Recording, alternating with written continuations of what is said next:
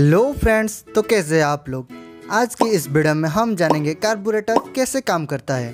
पहले हम जानेंगे कार्बोरेटर की फ़ंक्शन के बारे में। फोर स्ट्रोक पेट्रोल इंजन में इंटेक स्ट्रोक के दौरान intake manifold air fuel mixture जिसे हम चार्ज कहते हैं। तो ये चार्ज मिक्स करने के लिए और फ्यूल सप्लाई को कंट्रोल करने के लिए का काम करता है carburettor now we will discuss about the location of the carburettor air filter के बाद और इंटेक मैनिफोल्ड के पहले कार्बोरेटर को लगाया जाता है।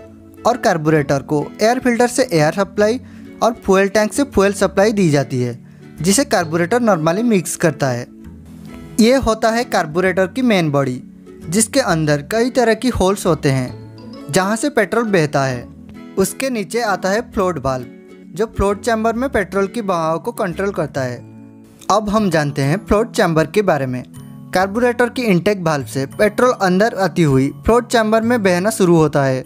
जैसे जैसे पेट्रोल का बहाव बढ़ता है वैसे वैसे फ्लोट बाल्ब ऊपर चढ़ता जाता है और जैसे जैसे चैम्बर का लेवल बढ़ता जाता है फ्लोट पिन वैसे वैसे ऊपर जाता रहता है और पेट्रोल का बहाव रुक जाता है।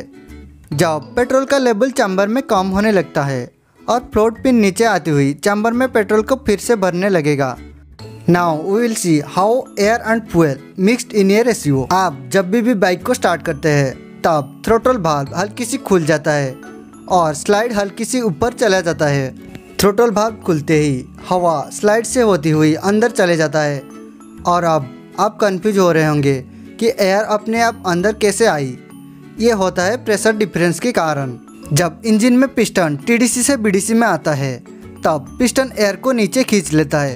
तब कार्बोरेटर में मौजूद एयर पिस्टन को खींच लेता है। अब अकेला तो एयर इंजन को चला नहीं सकता। अब वैक्यूम के कारण। फ्यूल जेट में से फ्यूल प्रेशर डाउन होगा और प्रेशर डिफरेंस के कारण फ्यूल जेट से फ्यूल थ्रोटल बॉडी में स्प्रे होगा। अब थ्रोटल बॉडी में फ्यूल ऑटोमाइज होकर एयर के साथ मिक्स होगा और एयर फ्यूल मिक्सचर बनाएगा। एक्सीलरेटर को आप जब रिलीज़ कर देंगे, तब थ्रोटल बाल्ब क्लोज हो जाएगा, मगर स्टॉपर होने के कारण थोड़ी एयर थ्रोटल बाल्ब में रिलीज़ होगी और आइडल लाइन में से थोड़ा फ्यूल इंजन में जाता रहेगा, जिसके कारण इंजन में आइडलिंग कर पाएगा। और इसी आइडलिंग के दौरान फ्यूल के अमाउंट को कम ज़्यादा करने के लिए आइडलिंग स्क्रू दिया जाता है, जिससे आप टाइट या लूज करके इंजन का आइडल सेट कर सकते हैं। जब हम पूरा एक्सीट करते हैं, तब बटरफ्लाई भाल पूरा खुलता है और ज़्यादा मात्रा में एयर और फ्यूल का मिक्सचर इंजन में चला जाता है। इसके कारण हमारा बाइक ज़्यादा स्पीड में चलता है मोर फ्यूल यानी मोर स्पीड लेस फ्यूल यानी लेस स्पीड अगर आपको ये वीडियो अच्छा लगा है तो प्लीज़ इस वीडियो को ज़्यादा से ज़्यादा लाइक एंड शेयर करें। और हाँ जाते जाते प्लीज़ मेरे चैनल को सब्सक्राइब करें। जय हिंद।